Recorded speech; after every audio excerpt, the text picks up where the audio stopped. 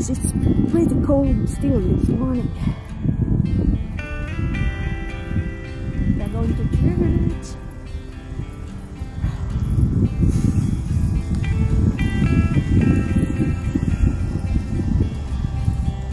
Sun is very shiny, it's very bright.